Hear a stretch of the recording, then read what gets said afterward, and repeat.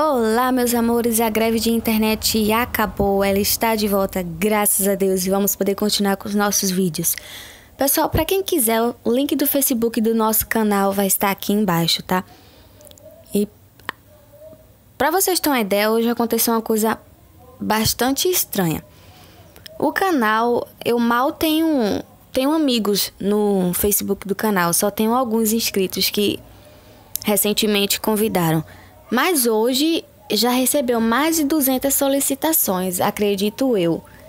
Eu estou até assustada. Então, para você que quer fazer parte dessas tantas solicitações que chegou hoje, o link vai estar aí embaixo e vamos ao que interessa. Fé cega.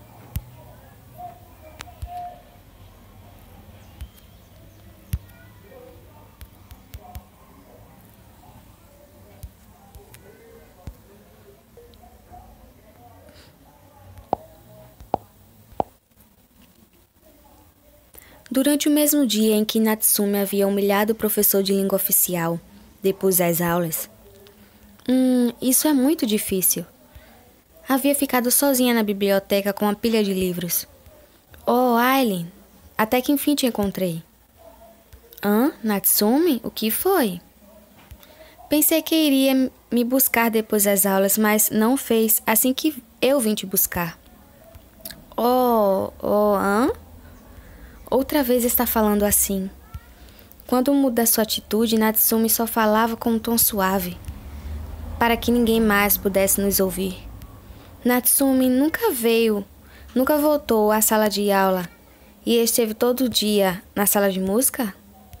Sim, havia muitas pessoas que queriam falar comigo, era uma irritação. Depois de tudo, acho que os demais. Acho que foi do que mais falaram, não? Oh, sim, assim foi. Uma vez que Natsumi se foi, toda a classe se pôs a falar dele. Estavam impressionados que uma múmia, uma raça de classe baixa, soubesse muito mais que um professor.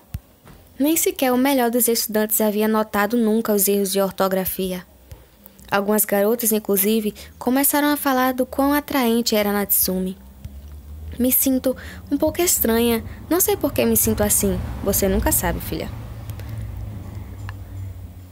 As pessoas gostam de falar de besteiras, não? Bom, a ele o que faz? Minha tarefa. Um dos professores me deu tarefa extra para que pudesse colocar em dia, com, ficar em dia com a classe. Se a fizer bem, me dará os créditos que me faltam. Hum, que tipo de tarefa é? Sobre raças, devo escolher um a escrever sobre suas características, vida e cultura. Escolhi as sereias, mas. Por que escolheu as sereias? Por que não as múmias? Era uma das possibilidades, mas, por alguma razão, quero aprender mais sobre as sereias.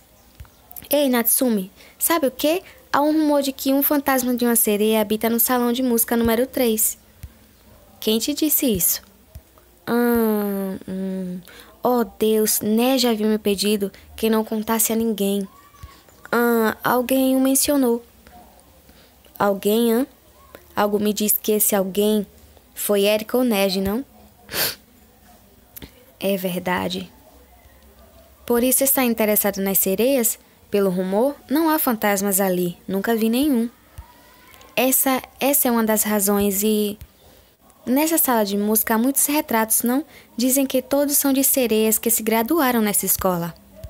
Parece que as sereias têm um grande talento musical e por isso seus retratos estão ali. Oh! Foi isso que um dos professores me contou. Isso eu já sei. E penso que é algo muito interessante. Que? As sereias nunca vi uma. Eu gostaria de ver uma alguma vez. Sua bonita aparência, sua bonita voz. Se fizer algo muito romântico. Ah, romântico? Ei, por que ri de mim? Por nada em especial, é que acho que você é uma tonta. T tonta? Então, está trabalhando nisso? Hum, sim, eu comecei procurando informação sobre suas vidas. Diz aqui que as sereias usam sua linda voz e sua beleza para atrair as suas vítimas. Quando capturam alguém, os usam como servos ou para ter filhos. Ah, mas me parece uma descrição um tanto estranha. Por que te parece estranha? Nesse livro se fala muito das sereias mulheres, mas nada dos homens. Essa é a única descrição. Os homens da raça se chamam tritões, são muito infrequentes e extremamente feios. Hum, dizem isso. Dizem que são muito infrequentes, mas existem, não? Porém, isso é tudo o que sei sobre eles. Me pergunto por quê. Hum, por que acha? Talvez porque são tão feios que ninguém quer saber deles? Os escrevem de uma maneira muito cruel. Hã? Todo mundo oculta aquelas coisas que desagradam, não? Mas que sejam feios é um assunto puramente superficial, não? Como pode julgá-lo só por sua feiura? Bonitas palavras. Hã? A que se refere? A nada. Só acho que você é tão bonita que me dá vontade de te esconder. Hã? E o que isso quer dizer? As pessoas não só querem esconder as coisas que desagradam, senão também as que atesouram, não sabia? Para que ninguém a toque ou a leve. Ei, que tal se te esconder em algum lugar? Te escondo, te envolvo e só deixo que olhe para mim. O que acha disso? Uma boa ideia? Natsumi acariciou minha bochecha e sorriu. Não, não brinque comigo. Não brinco. Se quiser, podemos fazer isso. Por que quer me envolver? De verdade, uma vez que termine ele, poderá estar comigo para sempre. Hã? Natsumi, o que foi? Aile, eu gosto de você, não? Hã? Cada vez que fala comigo, Aile, você cora e seus olhos brilham. Quer dizer, ele perguntou: Você gosta de mim, não? Eu que li errado. Não. O som das suas batidas pode se ouvir a vários metros de distância. Tenho razão, não? Como poderia ouvir o som de suas batidas? Você disse.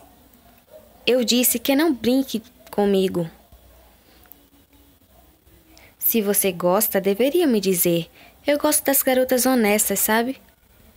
Suas reações são ternas, mas se não me demonstra o que quer, talvez desapareça. Não gostaria disso, não? Diga, Riley, diga que gosta e que não quer que me vá. As palavras de Natsuma estavam envenenadas. Entraram por meus ouvidos e atravessaram meu coração. Só usava esse tom quando estávamos sozinhos, me fazia pensar que só tinha espaço em seu coração para mim.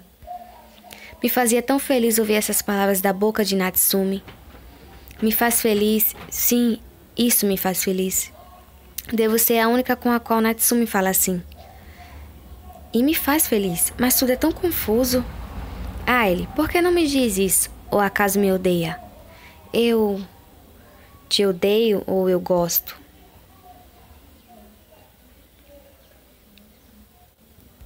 Eu gosto. Hã? Ei, eu não te ouvi, poderia repetir? Eu gosto. O que é que gosta em mim? Não sei, mas pode ser muito amável e. E o que mais? Não, não sei, mas acho que gosto.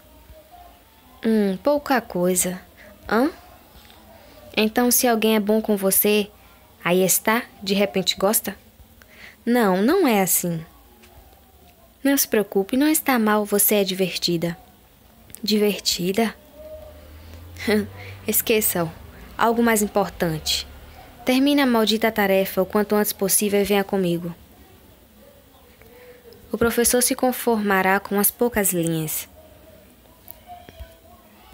Ah, umas poucas linhas. Não posso fazer isso. É uma tarefa importante. Não importa. Veja, me dê. Natsumi tirou os papéis, me tirou os papéis e começou a escrever. É minha tarefa, não serve para nada se eu não fizer. Ninguém importa quem faça enquanto a entregue a tempo. Bom, pronto, entregue isso. Pus a folha, pôs a folha de papel contra meu peito. Logo, Natsumi tomou minha mão e se aproximou da porta. Ei, espera! Entregue isso e vamos, venha brincar comigo. Brincar? Brincar de quê? Hum? O que fazemos, Aile? O que quer que te faça? Posso fazer o que Aile me pedir, algo doloroso.